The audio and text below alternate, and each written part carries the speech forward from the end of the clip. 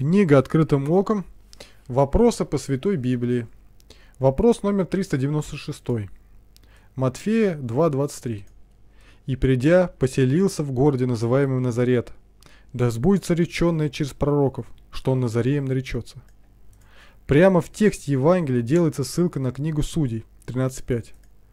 «Ибо вот ты зачнешь и родишь сына, и бритва не коснется головы его, потому что от самого чрева младенец ей будет Назарей Божий, и он начнет спасать Израиля от руки филистимлян. Почему начнет спасать от руки филистимлян? Разве Господь это делал? Отвечает Игнатий Тихонович Лапкин.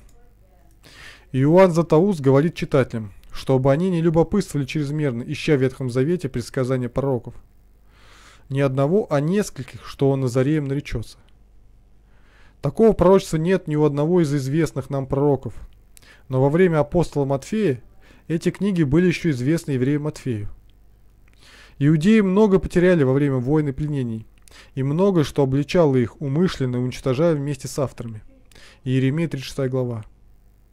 Наш перевод на русский язык сделан с синайского манускрипта, который был найден немецким исследователем Тишендорфом на Синае в монастыре Святой Екатерины, почти случайно.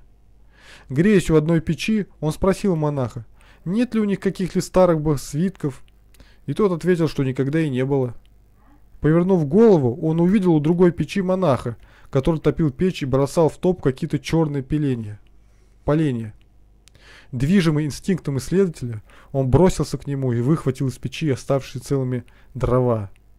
И это оказался известный теперь всему миру синайский манускрипт так как в 40-х годах 19 века Синайский полуостров был под протекторатом России, то он и сделал этот царский подарок для русского музея. В 1936 советское правительство продало этот манускрипт британскому библейскому обществу за 500 тысяч долларов по тогдашнему курсу. Синодальный перевод русской Библии 1876 года был сделан с этого манускрипта.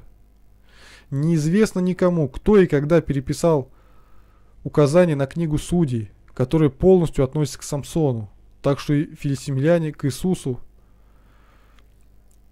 из Назарета не имеют никакого отношения.